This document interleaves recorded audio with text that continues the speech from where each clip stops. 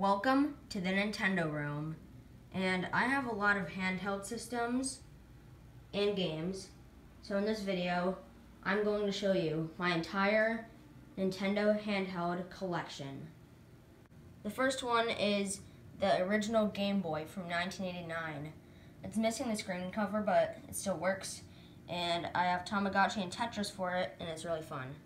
And then next I have the two DS Lites that I have, the red one and the white one. And these are all the games I have for it.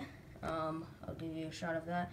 I'm missing the actual cartridges for Mario Kart DS and Mario Party DS, but all the other ones in this deck, I have the cartridges inside. And then I do have some loose games. Mario and Luigi Bowser's Inside Story, New Super Mario Bros., Pokemon Soul Silver, and Pokemon Black. And um, the disc, I mean the cartridge readers on these don't work. So um, the the Game Boy Advance um, thing um, does work, so I'm able to play Game Boy Advance games on them. And that's pretty much all I use them for. And I'll show you what I play my normal DS games on right now. I play my normal DS games on the DSi. Um, because this one actually is able to read DS cartridges. Those two have like broken ones, I guess. And um, yeah, I also like use like the Flipnote Studio that's on the DSi, and it's pretty fun. I actually used to have one of these when I was little, and it's cool to have another one that I got last December after Christmas, like three days after Christmas. I got this at a GameStop.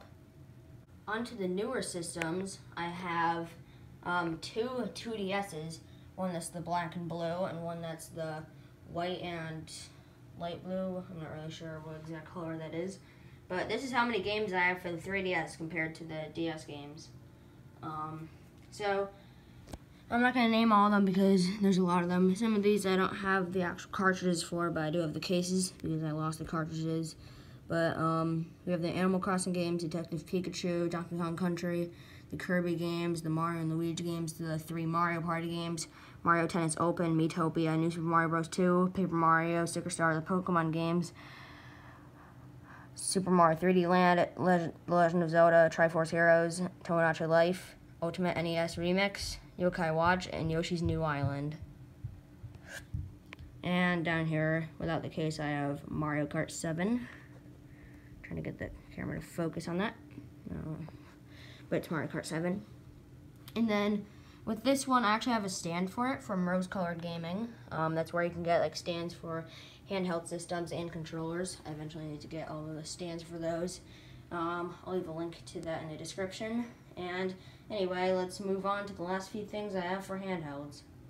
The last handheld system I have is the new Nintendo 2DS XL. And this is what I play all my 3DS games on. Um, just because I like this and I got this for Christmas.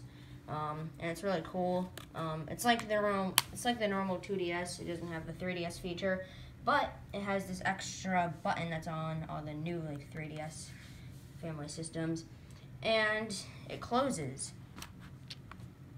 I don't know if I already said that, but um, yeah, it's basically this, but it can fold and it has a bigger screen.